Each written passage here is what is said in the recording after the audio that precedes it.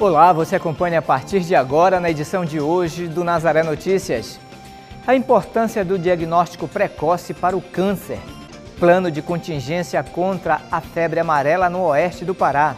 Mais de 200 mil raios atingiram o Pará no mês de janeiro. Agricultores de Altamira são recebidos pelo INCRA. Exposição sobre o vazio do fotógrafo Alberto Bitar. E na entrevista de hoje vamos falar sobre o aniversário da Santa Casa do Pará. Hoje é quinta-feira, 23 de fevereiro e o Nazaré Notícias já está no ar.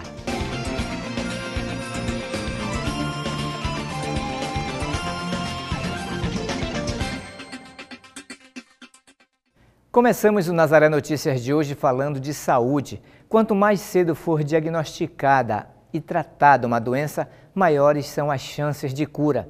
O mesmo ocorre para o câncer. Aqui no Pará, o Hospital Otávio Lobo atende crianças e adolescentes no tratamento do câncer e alerta para o diagnóstico precoce. Marcos Vinícius está fazendo tratamento contra um linfoma, mas demorou para descobrir a doença. Em sua cidade natal, município de Novo Progresso, no sudoeste paraense, ele recebeu o diagnóstico errado. No princípio, a gente é, fazíamos o tratamento de uma outra doença, na verdade. Duraram-se dois, dois anos e oito meses. Aí viemos fazer em Altamira o, uma biópsia, aí constatou que ele estava com linfoma. No Brasil, o câncer infanto-juvenil corresponde a cerca de 3% dos tipos mais diagnosticados em todo o país. Os mais comuns são a leucemia, os linfomas, seguido dos tumores cerebrais. De acordo com o MINCA, a taxa de mortalidade não é grande, mas ainda é a principal causa de morte por doença na faixa etária de 1 a 19 anos. No Brasil, a taxa média de cura é de 65%. Aqui no Pará, é de 50%, o que faz com que seja necessário o diagnóstico diagnóstico precoce. Especialmente na criança e no adolescente, o diagnóstico precoce é fator decisivo para o bom resultado. É, nós trabalhamos aqui, a, as taxas também elas têm uma, a, uma, uma influência muito grande da do encaminhamento para o lugar adequado, no tempo adequado e que esse paciente receba o tratamento adequado. Então, nós garantimos que ele chegue no centro especializado, que é aqui, receba os melhores tratamentos, os protocolos mundiais, e aí o trabalho do diagnóstico precoce é fazer com que as pessoas é, reconheçam, as pessoas mais próximas da criança, a família, o professor, o cuidador, que eles ah, se atentem para que pequenos sinais que parecem sinais da doença normal da infância, infância pode sim ser um sintoma inicial de câncer. Esta oncopediatra enfatiza que os sintomas não podem ser negligenciados. A família deve atentar para alguns sinais. Crianças que têm anemia, né, aquela palidez por um período prolongado, dores nas pernas, né, em membros inferiores ou em membros superiores, em articulações também, assim como sangramentos inexplicados ou aparecimento de roxuras no corpo sem é, algum trauma, algum baque, aumento do volume abdominal causado principalmente por aumento do fígado e do baço, aumento de qualquer parte do corpo sem justificativa, sem um trauma aparente, dor de cabeça constante, é, associada de vômitos também, dentre outros sintomas que são algumas vezes confundidos porque são sintomas comuns para outras patologias da criança mesmo. O Hospital Otávio Lobo é referência no tratamento oncológico infanto-juvenil. Em 14 meses de fundação, o centro já atendeu mais pacientes do que o previsto. Boa parte oriunda do interior do estado. Nesses 14 meses de funcionamento, nós começamos a funcionar a final de dezembro de 2015, para uma expectativa de 120 casos novos por ano, nós já atendemos nos primeiros 12 meses 256 casos. Isso quer dizer que é uma, uma garantia de acesso é, muito diferente da realidade do resto do país. As crianças com câncer, os adolescentes com câncer, conseguem de fato chegar a um hospital pronto para atendê-los. Taylon é uma das crianças atendidas no hospital. Ele é natural do município de Augusto Correia. O diagnóstico dele foi precoce, mas porque a mãe já conhecia os sintomas. Ela perdeu um filho aos seis anos para leucemia. Porém, o motivo da morte ela só soube depois. O menino não recebeu o diagnóstico correto. Com o Taylor foi diferente. Ele começou a é, ficar pálido e surgiu umas manchas, umas pintas vermelhas pela região da face. E aí a gente é, procurou o médico, por conta que eu já, eu já havia perdido um, um filho em 2012 com leucemia, eu já sabia mais ou menos como, como eram os sintomas. E aí eu fui, procurei um médico e ele realmente cheguei a um ponto de que era leucemia. Taylor foi encaminhado para o Hemop em Belém e depois para o pronto-socorro da 14 de março. Mas tudo foi bem rápido. Em 24 horas, ele já havia conseguido leito no Hospital Oncológico, onde está em tratamento há sete meses. Foi direto para a UTI, porque estava com leucócito muito alto. Passamos 11 dias na UTI e saímos de lá, ele pegou pneumonia, ficou ruizinho. E aí, mas depois que recuperou, tá fluindo, está respondendo ao tratamento. É uma criança muito alegre, que eu acho que a alegria dele ajuda muito a, ao tratamento, porque ele não se abate. Isso também me deixa para cima, me deixa é, mais tranquila. Além de casos de diagnóstico tardio, outro problema que pode prejudicar no processo da cura é o abandono do tratamento. Quando a criança passa a fazer o tratamento ambulatorial, ele já não está numa situação crítica. Então a gente conta com a parceria dos pais para nos ajudar a trazer a criança para o hospital, a fazer exames, fazer a quimioterapia conforme o calendário e também auxiliar dando as medicações que a gente tem algumas medicações orais, quimioterapias orais, que são de responsabilidade dos pais, que é para ser dado em casa.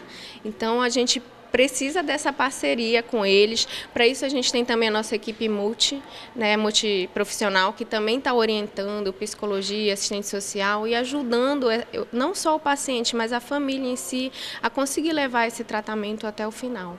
O tratamento de Marcos começou há dois meses. A mãe sabe que ainda há um caminho grande pela frente, mas grande também é a expectativa pela cura. Se sente amparado, na verdade, né? Porque temos um longo caminho a percorrer, que eu creio também que essa vitória é certa, né? Que Deus é fiel. E vamos caminhando. E Marcos, um menino feliz, um menino tranquilo, alegre e valente. Eu digo que ele é um valente.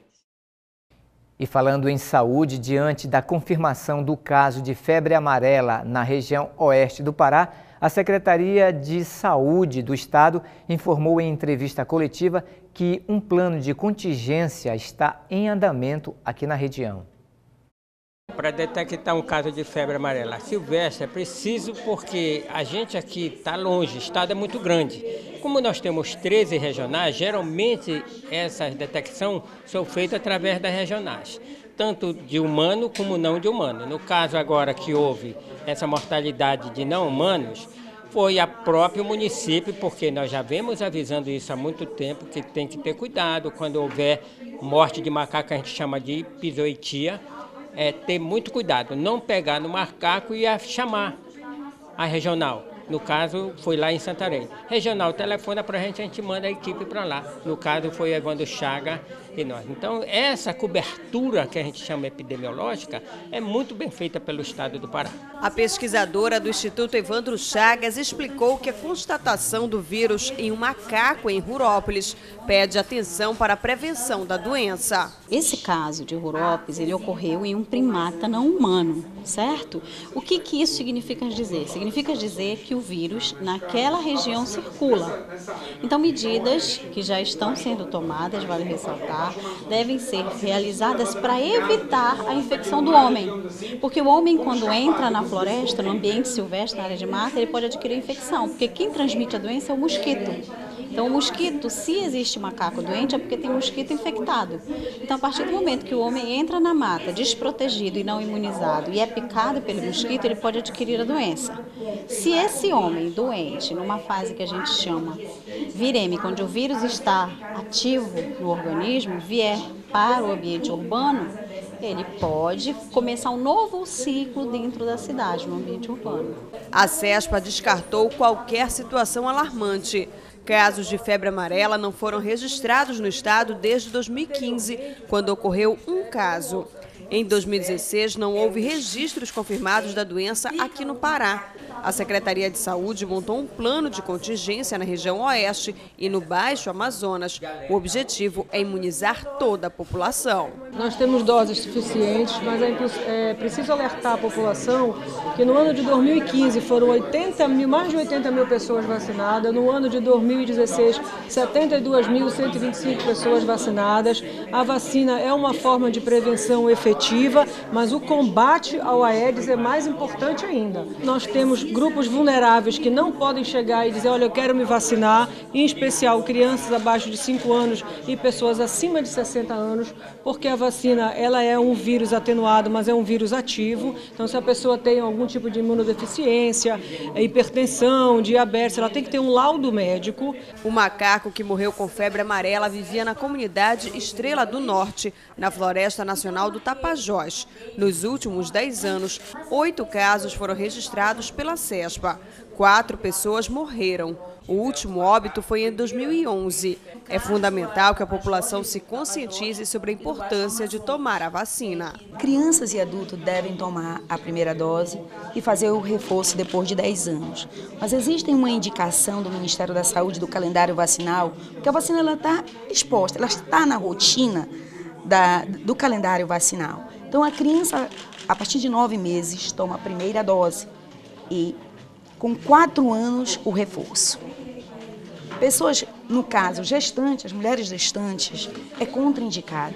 Mulheres que estão amamentando criança até seis meses não devem ser vacinadas. As pessoas idosas que têm algum tipo de comorbidade, alguma doença como diabetes, transplantado, é preciso que o médico oriente esse, essa pessoa para fazer a vacinação. Mas as pessoas que vão viajar, que, estão em, que vão para lugares que têm casos notificados, confirmados, devem ser vacinadas. Se a pessoa vacinar, ela tem um, um, uma imunidade, no caso, para o resto da vida. Mas é preciso também saber que você não pode fazer a primeira dose e logo em seguida viajar. São 10 dias antes da viagem. Aqueles que vão fazer só o reforço, esses 10 dias não se aplicam. E representantes das secretarias de saúde de Rurópolis, Itaituba e Trairão, no oeste do estado, discutiram as ações que serão implementadas após a confirmação de que o macaco encontrado na zona rural de Rurópolis teve a morte provocada pela febre amarela. Segundo a Coordenação de Epidemiologia e Imunização da Nona Regional, a taxa de vacinação contra a febre amarela nos municípios da região ainda é baixa. A preocupação com a morte dos animais começou depois que mais de 340 macacos morreram no sudeste do Brasil com febre amarela. E na entrevista de hoje também vamos falar sobre saúde. A Santa Casa de Misericórdia do Pará completa amanhã 367 anos. É um dos maiores hospitais públicos do norte do país e referência materno-infantil. Essa semana, os servidores do hospital estão em festa. Larissa Cristina conversa com a presidente da Santa Casa, Rosângela Brandão. Não é isso, Larissa? É isso mesmo, Marcos. A Fundação Santa Casa de Misericórdia do Pará completa esses 367 anos e por isso a gente recebe aqui nossos estudos, estúdios a presidente da Fundação Santa Casa de Misericórdia do Pará, a doutora Rosângela Brandão. A gente agradece pela sua presença aqui com a gente e é importante Obrigada, que a gente destaque para as pessoas a importância desse hospital aqui na nossa capital paraense. Se você quiser participar da nossa entrevista, enviar sugestões de temas e até perguntas, mande para o nosso WhatsApp, que é o 9 88023444. Doutora Rosângela, vamos começar falando de como é ser presidente de um hospital como esse, que tem 367 anos de história. É uma grande missão? É, realmente, é, não é uma coisa muito simples, né? Mas a, esse desafio, ele se torna mais fácil porque você tem ferramentas de gestão né, que são pouco usadas no Brasil inteiro, como, por exemplo, o planejamento estratégico. Então, ao chegar na Santa Casa, para dar conta desses 500 e leitos, ou seja, 500 pacientes internados, a responsabilidade que isso representa, nós é, chamamos o apoio de todos os 2.700 servidores. Então, encontramos uma equipe de gestão também bastante qualificada, isso foi um avanço para nós, e nós resolvemos traçar essa gestão com o planejamento estratégico. E daí nós seguimos em frente, porque sem o planejamento estratégico, sem o planejar, né, sem o monitoramento, sem o acompanhamento dos resultados que nós estávamos pretendendo buscar, nós não conseguiríamos fazer muita coisa. Nós iríamos apagar, literalmente apagar incêndios. Então, porque problemas acontecem a todo minuto na Santa Casa. Aqui na região norte, aqui em Belém, a Santa Casa é referência nesse setor de neonatologia, mas não atende exclusivamente somente a área de maternidade, né? Não, a Santa Casa, ela historicamente, ela sempre foi um hospital de ensino. É, desde quando a faculdade de medicina foi fundada, antiga faculdade de medicina, em frente à Santa Casa, a Santa Casa se tornou o campo de aprendizado, que a gente chama o campo de estágio. É, e a partir daí, a história da Santa Casa foi como um hospital de ensino. Depois veio a faculdade de enfermagem e mais uma outra categoria que também passou a se formar nos purões, nos corredores, nas enfermarias da Santa Casa. Mas a partir de 1996, a Santa Casa foi certificada pelo Ministério da Educação e pelo MEC e Ministério da Saúde. Né? Então, o Ministério ele abriu para o Brasil inteiro é, a possibilidade de hospitais que tinham ensino, mas que não eram hospitais universitários, a se credenciarem como hospital de ensino. E a Santa Casa aderiu a esse projeto e nos, e nos certificamos. A Santa Casa se certificou como hospital de ensino, assistência e pesquisa, porque não é só assistência e ensino, é pesquisa também. Tanto que nós temos é, programas de mestrado, né, que já acontecem desde o ano de mais ou menos 2008, 2009, por aí assim. Agora, doutora Rosângela, as pessoas têm muita curiosidade, por exemplo, ela se chama Santa Casa, como tantas aí ao redor do Brasil, porque no início no passado foi fundada por obras sociais da igreja, mas hoje em dia não é mais mantida por essas congregações. É verdade. A Santa Casa, ela é mais ou menos a oitava Santa Casa a ser criada no Brasil. É, a primeira foi a de, da Bahia, depois a do Rio de Janeiro, e foram, foram se seguindo. A Santa Casa parece que, se eu não, não me falha a memória, ela veio depois da Santa Casa de Pernambuco, né, no Recife. E ela, ela era um hospital da misericórdia, né, um hospital filantrópico, até o ano de 1990. Quando, nesse período, um período de transição, a Santa Casa passou por uma fase de uma, uma junta, que ficou uma junta governativa, e em seguida, o governo do estado absorveu a Santa Casa e foi promulgada uma lei que foi a lei de criação da Fundação Santa Casa de Misericórdia. Então, hoje nós temos a Fundação Santa Casa de Misericórdia, que é, é um, um, órgão da administração, é uma autarquia ligada ao governo do estado. Pará. Agora, até hoje, parte dessa memória do hospital está preservada. Uma parte, sim. Nós temos o, o museu, né?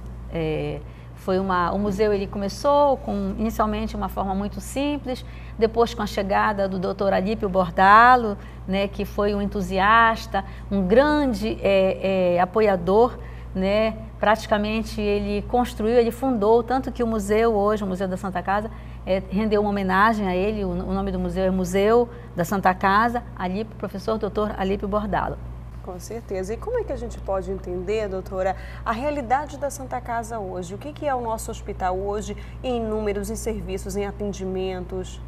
Eu estou observando hoje que nós já podemos dizer que a Santa Casa ela tem toda essa história, esses 367 anos, e ela, é, com a sua missão de ser um hospital de qualidade, de ser excelência no atendimento e na assistência à saúde, ela não pode, não pode fugir ao avanço da tecnologia. Então, a Santa Casa hoje, ela utiliza a tecnologia, não é? Os prontuários hoje da Santa Casa são informatizados, é, todo o sistema de apoio, laboratório, farmácia, é, nutrição, é, almoxarifado, toda a infraestrutura que dá o sustento para um bom atendimento aos pacientes, ele está informatizado. O, desde o prontuário até os medicamentos de almoxarifado, os itens de almoxarifado, laboratório e tudo mais. Tudo isso não teria sentido se não tivesse um rumo, uma ferramenta que é o planejamento. Então, além de estarmos todos informatizados, todos os setores da Santa Casa informatizados, só, nós, só está pendente ainda uma parte do centro cirúrgico e uma parte do ambulatório, por conta de melhorias da estrutura física que nós retardamos um pouquinho a informatização desses setores. É, nós implantamos, é, concluímos essa, essa, essa, essa vida digital da Santa Casa com o módulo da gestão. Com certeza, doutora Rosângela, a gente aproveita para reiterar que o aniversário da Fundação Santa Casa de Misericórdia do Pará será comemorado nesta sexta-feira aqui em Belém. Vai ter café da manhã para os servidores, programação com Santa Missa, vai ter uma grande festa no hospital. Exatamente, nós estamos é, organizando, nós teremos cerimônia de formatura de mais de, 100, de 50 residentes médicos, né? É, que conclui o seu período de, nas mais diversas especialidades. E na, na sexta-feira, o café da manhã, às seis e meia da manhã. Você está convidada. Se, tiver, se puder acordar às seis horas para estar lá às seis e meia da manhã, é o nosso café da manhã de aniversário, porque seis e meia nós recebemos os servidores que estão saindo do plantão e junto com os que estão chegando ao trabalho, às seis e meia da manhã, começa o nosso café de aniversário no refeitório da Santa Casa, seguido de uma missa às oito horas na nossa capela, e depois um almoço que será é, recheado com os talentos da Santa Casa. É, servidores que cantam, servidores que tocam violino, servidores que declamam poesias, servidores que pintam, todos estarão lá no almoço, nesse almoço de aniversário dos 367 anos, um almoço especial no nosso refeitório, não é? é porque nós temos é, medidas de segurança, é, medidas de segurança que impedem que a gente circule com alimentos no hospital. Isso é mais um avanço que a gente está implementando na Santa Casa. É, mas estaremos festejando todos juntos no auditório e finalizaremos os nossos festejos com essa com esses talentos da Santa Casa lá no almoço ao meio-dia, que também estão convidados, tanto para o café como para o almoço. Tá certo, a gente agradece a sua entrevista, doutora Rosângela. Fica aí o recado e o convite para todos que quiserem participar. Então, é a partir de amanhã essa festa de aniversário da Fundação Santa Casa de Misericórdia aqui em Belém. Eu aproveito para deixar o nosso contato, é o 988023444. Se você quiser mandar alguma pergunta ou sugerir temas para as nossas entrevistas, fique à vontade através do nosso WhatsApp. A gente agradece mais uma vez a sua presença aqui com a gente gente. Obrigada. Marcos, eu volto com você. Obrigado, Larissa. Obrigado, doutora Rosângela. A Receita Federal liberou hoje para os contribuintes o download do Programa Gerador do Imposto de Renda 2017, referente ao ano base de 2016. A temporada de entrega das declarações começará no dia 2 de março e se estende até o dia 28 de abril. E os contribuintes que enviarem a declaração no início do prazo sem erros, omissões ou inconsistências receberão mais cedo a restituição. Idosos, portadores de doença grave e deficientes físicos ou mentais têm prioridade. E agora vamos falar de trânsito. Na manhã de ontem, um ônibus colidiu com um caminhão na Avenida Júlio César. O acidente deixou o trânsito parado no entorno e, segundo o Corpo de Bombeiros, deixou pelo menos 17 pessoas feridas. O acidente aconteceu na Avenida Júlio César, sentido Almirante Barroso, próximo ao elevado Daniel Berg. As causas do acidente ainda não foram identificadas, mas, segundo moradores que passavam pelo local, o caminhão bateu na travessa do ônibus, provocando o incidente. Além de gerar congestionamento na avenida, o acidente deixou ainda duas pessoas presas nas ferragens do caminhão e outras 15 pessoas que estavam no ônibus com ferimentos leves. Uma equipe do Corpo de Bombeiros resgatou as vítimas. Duas delas estavam em estado considerado grave e foram encaminhadas para um hospital particular da capital. E falando em trânsito, os vereadores de Belém aprovaram na tarde de ontem um substitutivo à lei municipal que regulamenta o sistema de transporte por mototáxi. O novo projeto de lei contempla as principais reivindicações dos mototaxistas, como inclusão de tarifa mínima, a mudança de potência das motos, que agora deve ter entre 125 e 190 cilindradas. Na lei de 2010 era até 150. Outra mudança com a nova lei é que os veículos devem ter, no máximo, sete anos de fabricação, antes eram de quatro anos.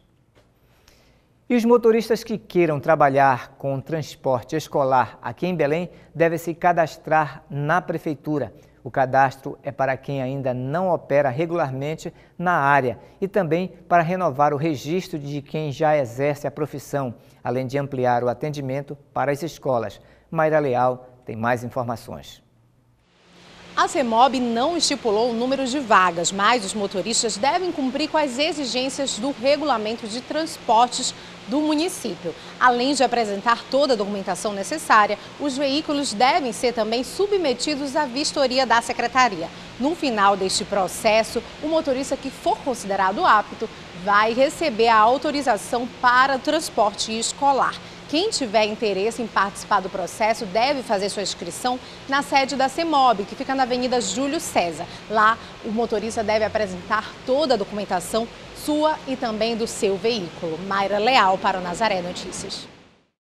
As delegacias regionais e especializadas de Rio Branco e do interior do estado do Acre devem ganhar reforço de servidores durante os dias de carnaval, entre 24 e 28 de fevereiro. Representantes da Polícia Civil informaram que o reforço será de pelo menos um agente, um delegado e um escrivão em cada delegacia da cidade. A Polícia Civil garantiu que todo o efetivo estará nas ruas durante o período carnavalesco. E você acompanha ainda nesta edição, mais de 200 mil raios atingiram o Pará no mês de janeiro. Agricultores de Altamira são recebidos pelo INCRA e exposição sobre o vazio do fotógrafo Alberto Bitar. Voltamos com Nazaré Notícias e agora vamos falar dos raios. Com as chuvas intensas, dá para perceber uma maior incidência de raios. Só no mês de janeiro deste ano, registrou mais de 204 mil descargas elétricas em todo o estado do Pará. O fenômeno natural tem sido responsável pela interrupção do fornecimento de energia elétrica. Os dados são do Sistema de Proteção da Amazônia, o CIPAM. Foram registradas no mês de janeiro 240 mil descargas elétricas em todo o Pará. O número é mais que o dobro do ano passado. Essa meteorologista explica o motivo. Houve essa grande diferença em relação a janeiro de 2016, porque no ano passado nós estávamos sob a influência, no início do ano passado, sob a influência do fenômeno climático conhecido como El Ninho, que é um aquecimento anômalo das águas do Oceano Pacífico Equatorial. Esse aquecimento acaba modificando a circulação dos ventos e fazendo com que as nuvens carregadas não consigam se desenvolver aqui na nossa região. Então, até tem formação de nuvens, mas é muito difícil que elas consigam ficar carregadas, ficar muito desenvolvidas. E aí há uma redução no volume de chuvas, há um aumento nas temperaturas e, consequentemente, das descargas elétricas também. A densidade dos raios está ligada a diversos fenômenos naturais e foi maior no sudeste do Pará. Durante o ano de 2017, além de nós já não estarmos sob a influência do El Ninho, nós tivemos a configuração de um, do, da outra fase do fenômeno, que é o Laninha, que é o resfriamento das águas do Pacífico. Em janeiro ele já estava em vias de desconfiguração, mas ainda influenciando a nossa região. E nós tivemos também um aquecimento das águas do Atlântico Equatorial, aqui próximo do nosso litoral. E então esse fenômeno, que é conhecido como zona de convergência intertropical, ele acaba definindo o nosso inverno amazônico. É, é esse fenômeno que se aproxima aproxima da nossa região, ali entre dezembro e maio ele começa essa aproximação e ele gosta dessas águas aquecidas. Como as águas estiveram mais aquecidas, ele acabou ficando bastante ativo e descendo um pouco antes do normal. Então nós tivemos é, janeiro com chuvas acima do normal, fevereiro já estamos com chuvas acima do normal também e tivemos essa influência para aumentar também o número de descargas elétricas. Essas descargas elétricas foram responsáveis por 1.600 interrupções do fornecimento de energia no Pará. Um problema que pode trazer prejuízos à população. No fenômeno desse natural, quando um raio cai sobre nossa rede elétrica ou até mesmo uma linha telefônica, ele faz uma sobrecarga na rede acontece que esses equipamentos eles chegam com maior tensão. Né? Um eletrodoméstico ligado, mesmo desligado da, do interruptor e ligado na tomada, ele pode vir a queimar ou causar alguns danos dentro do, do imóvel. Então é importante retirar totalmente, fazer o desligamento até a tempestade passar. É importante seguir algumas orientações. O que a gente recomenda para os nossos consumidores? É, em relação ao momento da, da tempestade, é, está é, desligando esses equipamentos da tomada, principalmente as antenas né, de TV de canal aberto, eletrodoméstico como geladeira, fogão, principalmente os telefones celulares que são conectados ao carregador ou telefone fixo, no momento que estiver sendo também ligado à tomada. Qualquer tipo de equipamento que se estiver conservando em tomada, é importante que retire, mesmo sendo aquele equipamento que tem um aterramento, o seguro mesmo é retirar da tomada. Caso o cliente tenha algum prejuízo, ele deve procurar a CELPA. O cliente ele pode recorrer até 90 dias que ocorreu a situação, até uma agência de atendimento da, mais próximo de sua, da sua casa, fazer o registro e aí vai ser verificado se o cliente pode ser ressarcido ou não. Em muitos casos pode ser ressarcido. Né? Aí tem que fazer todo o procedimento, orientação ao cliente nas agências de atendimento. Uma forma de prevenir é fazendo a manutenção da rede elétrica. Sempre que eu, puder, o cliente, tanto empresarial, residencial, fazer sempre a sua manutenção dentro do imóvel, verificar suas fiações, seus aparelhos, seus eletrodomésticos se estão todos em ordem, para não ocorrer esse, esse tipo de incidência. É o que a gente orienta. Um eletricista particular pode fazer o interno do cliente, né? ele pode chamar um profissional que seja capacitado, habilitado para fazer a verificação de como, como estão essas instalações. E agora você acompanha a previsão do tempo para esta sexta-feira em alguns municípios da Amazônia.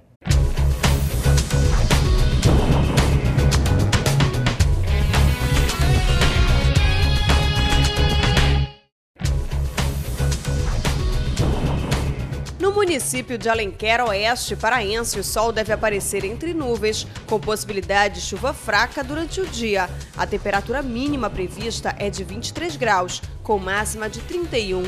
Já em Garapé-Açu, no nordeste do Pará, o tempo deve ficar fechado, com possibilidade de chuva pela parte da tarde. A temperatura mínima varia entre 24 graus e pode chegar aos 29. Para a cidade de Rio Branco, no Acre, a previsão é que o tempo fique nublado, com pancadas de chuva e trovoadas ao longo do dia. A temperatura mínima inicia em 22 graus e pode chegar a 29.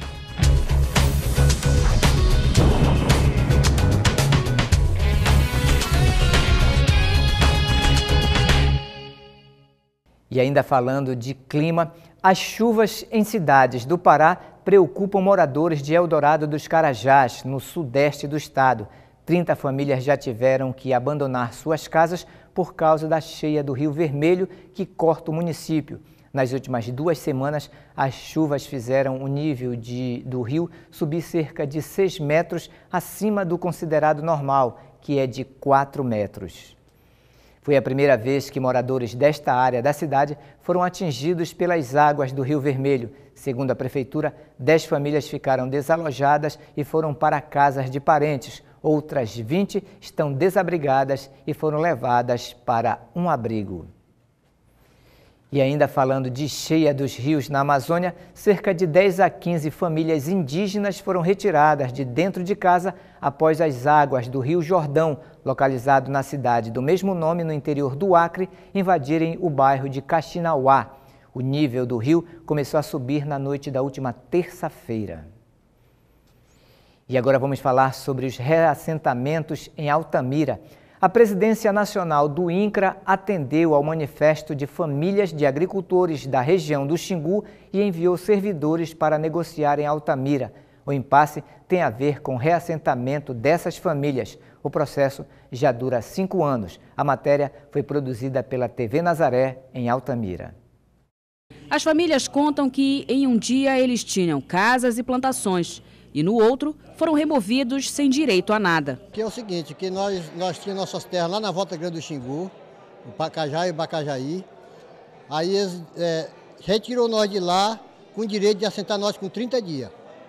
E com esses 30 dias já está com 5 anos. O processo de remoção dessas famílias foi feito há cinco anos, uma exigência da FUNAI para a ampliação da terra indígena Arara da Volta Grande. Aprovada pelo governo federal, a remoção das famílias foi organizada pelo INCRA, mas, segundo os moradores, havia promessa de realocação. E aí nós estamos aqui hoje cobrando no nossos direitos que nós temos. Entendeu? E aí nossa decisão aqui hoje é o seguinte, se eles não der uma, uma, uma decisão concreta, nós vamos trancar o INCA de novo. Há cinco anos, os agricultores esperam para serem reassentados, mas até agora o INCRA não apresentou novas áreas para reassentamento. Nesse período, os trabalhadores dizem que tiveram que se virar para conseguir dinheiro e a maioria vive de pequenos bicos. Inconformados com a situação, os agricultores ocuparam o prédio do INCRA em Altamira na última semana e conseguiram forçar a vinda de representantes do Instituto, além de procuradores federais da Procuradoria-Geral da União, que foram cedidos para a autarquia e estão acompanhando o caso. Durante uma reunião a portas fechadas, o diretor de obtenção de terras, Clóvis Figueiredo Cardoso, e o novo coordenador do INCRE em Altamira conversaram com representantes dos agricultores e conseguiram chegar a um acordo. Deixando claro que nós não vamos aceitar foto aqui no Rio que não aceitamos. Diante desse momento ali, as nossas falas, nós não vamos aceitar, não vamos abrir mão do nosso reino. A é do Senhor, vocês não estão dando terra, vocês estão devolvendo a terra de quem, da onde eles foram tirados. A agenda de trabalho acertada durante o encontro foi confirmada pela direção do INCRA e já em março, uma equipe de técnicos virá à região para avaliar áreas destinadas ao reassentamento de 153 famílias. Que é o compromisso de que no dia 6, no dia 6 de março, uma equipe composta de três peritos, três historiadores, engenheiros agrônomos, estarão aqui para iniciar os trabalhos das perícias técnicas nas áreas prováveis para reassentamento das famílias que aqui estão presentes. A agenda positiva agradou os trabalhadores. O terminal rodoviário de Macapá vai ganhar um reforço com ônibus extras para atender ao aumento da busca por passagens no feriadão de carnaval. O objetivo da Secretaria de Estado de Transportes é atender a toda a demanda de viajantes para o interior, principalmente para as cidades mais procuradas como Oiapoque, Laranjal do Jari e Serra do Navio. Serão garantidos ônibus reservas no caso de ocorrer grande procura por determinadas linhas. Em Belém, a partir de hoje, a Arcon inicia a Operação Carnaval 2017 que segue até o dia 1 de março. A operação mobiliza 65 servidores da agência em ações de fiscalização nas estradas e portos, tanto de Belém quanto do interior do estado. Mayra Leal tem mais informações. Marcos, foram necessários alguns ajustes operacionais em algumas travessias. Primeiro, a entre Belém e Cametá, que é feita de balsa na região do Baixo Tocantins e também no distrito de Porto Trombetas, no oeste paraense. Haverá também uma fiscalização redobrada nas rodovias, na Santarém Cuiabá, BR-163 e na BR-316, que dá acesso a muitos municípios que são procurados nessa época de carnaval, como Colares, Vigia de Nazaré, Curuçá e Salinópolis. A Arcon estará trabalhando de forma integrada com as polícias rodoviárias estadual e federal em vários pontos dessas rodovias. Tudo para garantir ao Fulião um carnaval mais seguro. Mayra Leal para o Nazaré Notícias. Durante todo o ano, a Polícia Rodoviária Federal, em parceria com órgãos públicos municipais em Altamira, realiza o Cinema Itinerante, um projeto de conscientização a respeito de um trânsito seguro. De acordo com a PRF, as ações têm contribuído para a redução de acidentes de trânsito. Dessa vez, o local escolhido para o cinema itinerante foi a rodovia Transamazônica, no trecho que dá acesso ao bairro Mutirão, um lugar de fluxo intenso de veículos. Com a ajuda do Demutran, os carros e motos eram parados e os condutores que estivessem irregulares assistiam a uma palestra e a um vídeo de conscientização sobre a importância de um trânsito seguro. Esse trabalho a PRF desenvolveu no Brasil inteiro e ele se chama Cinema Rodoviário. Tá?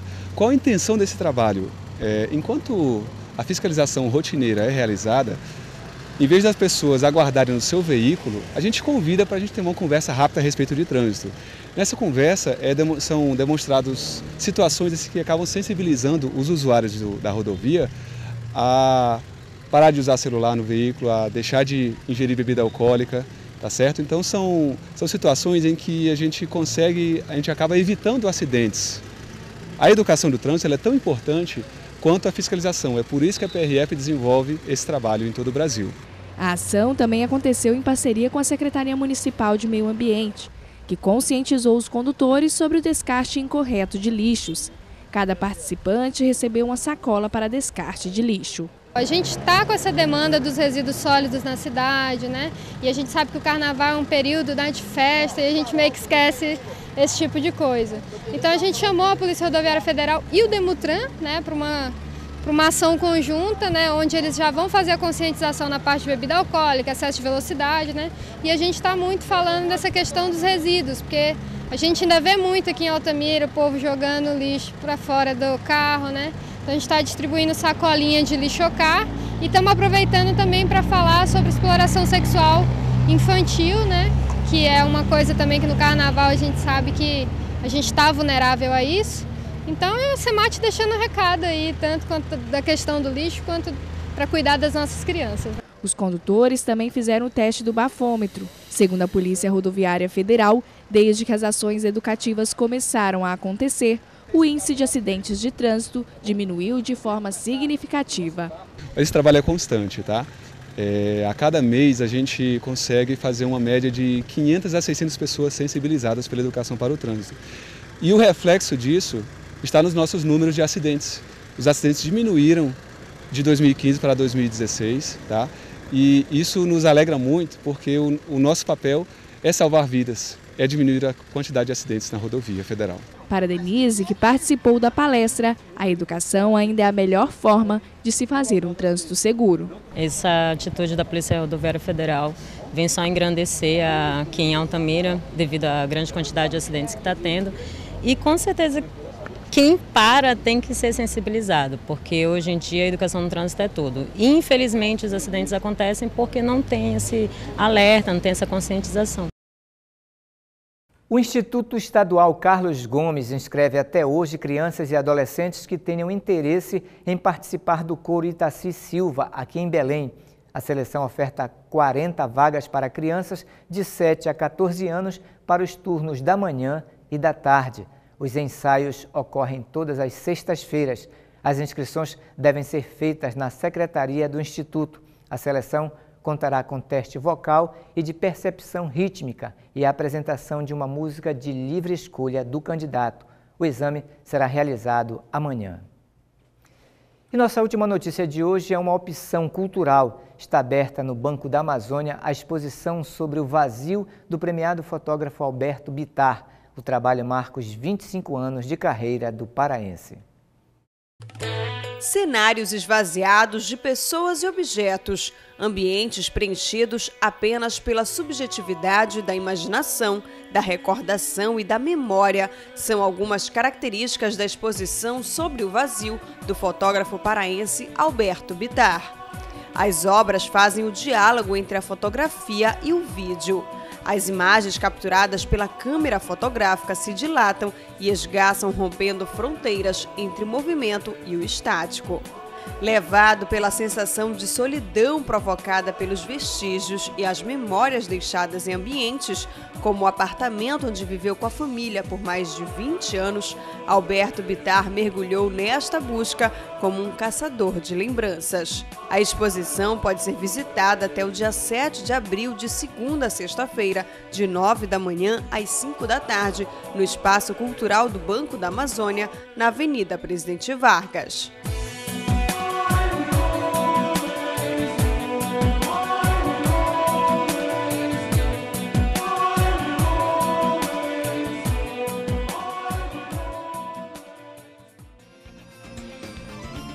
E essas foram as notícias de hoje. Para dar sugestões de reportagens ou entrevistas, envie para o nosso WhatsApp. O número é o 988023444. Mas se você quiser rever nossas reportagens, acesse o portal Nazaré www.fundacionazaré.com.br ou acesse a nossa página no Facebook. Nazaré Notícias fica por aqui. Nos encontraremos amanhã na próxima edição. Até lá!